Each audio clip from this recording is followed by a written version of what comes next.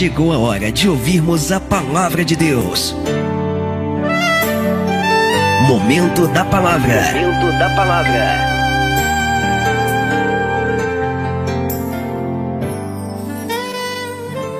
Amém, irmãos? Glória a Deus. Lá no livro de Deuteronômio, capítulo 28, as bênçãos decorrentes da obediência. Se atentamente ouvires a voz do Senhor teu Deus, tendo cuidado de guardar todos os seus mandamentos que hoje te ordeno, o Senhor teu Deus te exaltará sobre todas as nações da terra. Amém? Glória. Se ouvires a voz do Senhor teu Deus, virão sobre ti, te alcançarão todas estas bênçãos. Bendito serás tu na cidade, bendito serás no campo. Bendito o fruto do teu ventre, o fruto da tua terra, o fruto dos teus animais, as crias das tuas vacas e das tuas ovelhas. Bendito o teu cesto, a tua amassadeira. Bendito serás ao entrares e bendito ao saíres. O Senhor fará que sejam derrotados na tua presença os inimigos que se levantarem contra ti. Por um caminho sairão contra ti, mas por sete caminhos fugirão da tua presença. O Senhor determinará que a bênção esteja nos teus celeiros e em tudo o que colocares a mão e te abençoará na terra que te dá o Senhor teu Deus. Amém? Até aí. Então essa é a palavra que Deus tem para mim, que Deus tem para você nesta manhã, que Deus tem para nós, né? Se atentamente. Ou seja, Deus ele deixa aí uma condição, né? A condição é o quê? A obediência, né? Se atentamente, se a gente se atentar para a voz do Senhor e ser sensível à voz dele e obedecer e andar com ele, e andar com ele, porque às vezes, né, é, nós pensamos assim, entendeu? Que só o fato de pregar, só o fato de cantar, ou só o fato de ter um dom espiritual, isso não significa que a pessoa está andando com Deus, né? É. é isso mesmo. A gente percebe que o povo de Israel, mesmo vendo tantos sinais, tantos prodígios, tantas maravilhas, e quem mais viu foi o povo de Israel. O povo de Israel foi tirado lá do Egito, lá das mãos de Faraó o povo viu Deus enviar dez pragas diante de Faraó. O povo viu Deus abrir o mar. O povo passou para o outro lado. O povo foi sustentado por Deus no deserto. Quando faltou pão, Deus, entendeu? Deu pão, o povo não quero pão. Deus foi lá e enviou o maná. Deus fez o maná descer do céu, cair do céu. Ah, agora eu quero carne. Moisés, será que não tem carne? Não tem um cardápio diferente? Então Deus foi lá, fez o que? Enviou cordonizes do mar Ô Moisés, será que a gente agora vai morrer de sede? Deus, pronto, tá bom, fala a rocha e toca na rocha, ou fala a rocha. Deus fez sair água da rocha. Ou seja, sinais o povo viu, prodígios, maravilhas, o povo viu. Isso não significa, entendeu? Que o povo estava bem com quem?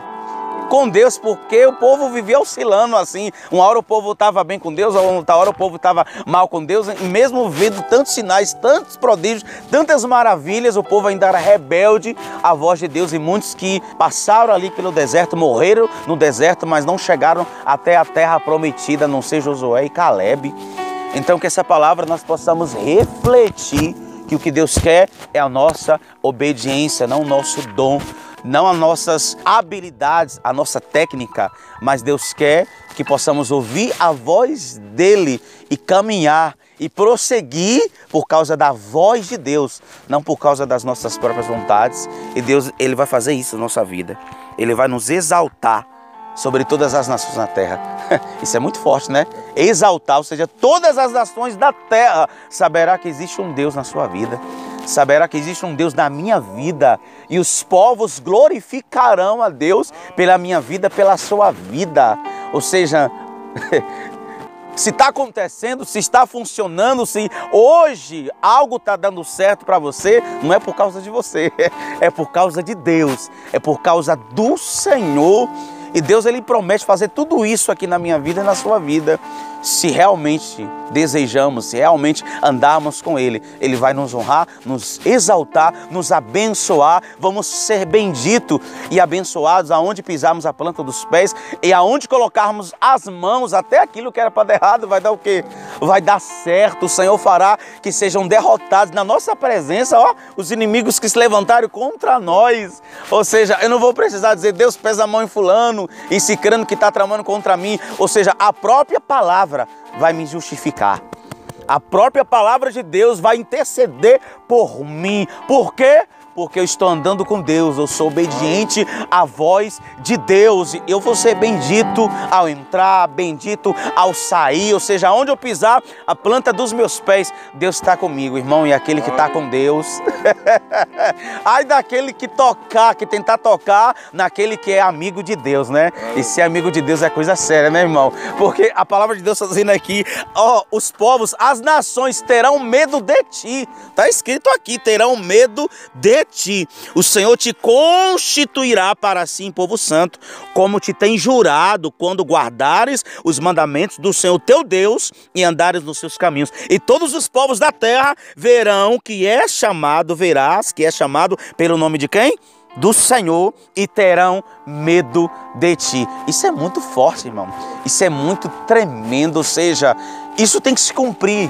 Isso tem que se cumprir na minha vida e na sua vida. Ou seja, o ímpio tem que ver que a luz de Deus está na minha vida, que a luz do Senhor está na sua vida. Ou seja, tem que haver uma diferença entre o justo e o perverso, entre aquele que serve a Deus e aquele que não serve a Deus. E eu creio que essa diferença vai acontecer nas nossas vidas.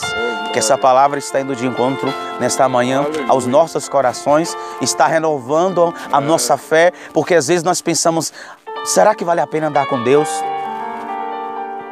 Às vezes, sabe, eu fico pensando em por que é que o povo de Deus sofre tanto. Você já percebeu? O povo de Deus sofre, irmão. Quem anda com Deus passa por cada coisa.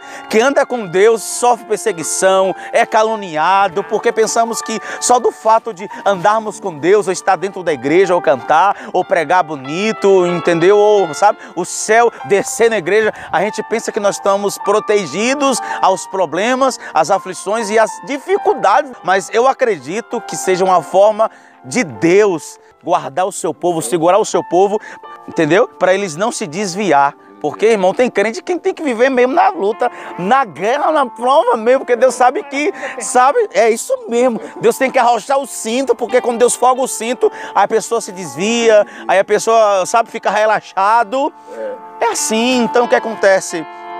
Deus estava ensinando o povo no deserto a viver na total dependência dele. E Deus falou: Eu te coloquei no deserto para te provar, para te humilhar. Olha só, Deus ele nos coloca no deserto para quê? Para nos provar e para nos humilhar mesmo. É isso mesmo. Para ver o que é que está no nosso coração, para ver se vamos honrar ele ou não. Então, eu acredito que o deserto seja a escola de Deus. não tem jeito. Se a pessoa entrega a vida para Jesus e ela decide andar com Cristo, ela vai passar por deserto, ela vai passar por dificuldade. Deus não vai chegar assim, entregar tudo de mão beijada a ela, entendeu? Ah, tô orando, tô buscando a Deus e vou chegar em casa, vou abrir o guarda-roupa e vai descer aquela roma de dinheiro. Espere que isso não vai acontecer nunca. Então vai ter dificuldade. Crente de verdade passa luta, dificuldade, aflições. Só que essa luta, por estar no centro da vontade de Deus, essas guerras, é prazeroso. E quem falou isso foi o apóstolo Paulo, né? O sofrer por Cristo é um privilégio glorioso. o sofrer por Cristo, sofrer em Cristo, não é sofrer na mão do diabo, ser oprimido pelo diabo, não. É sofrer por Cristo. Então, vale a pena passar tudo isso por causa do Senhor e vale a pena levar o nome do Senhor, vale a pena, entendeu? Servir a Ele e andar com Ele. Então, que eu possa servir a Deus não por aquilo que Ele tem para dar, mas por aquilo que Ele é, porque Ele é Senhor. Amém? Então que Deus abençoe em nome de Jesus as nossas vidas, que possamos guardar no nosso coração essa palavra, porque Deus é fiel, irmão. É forte. Amém? Amém.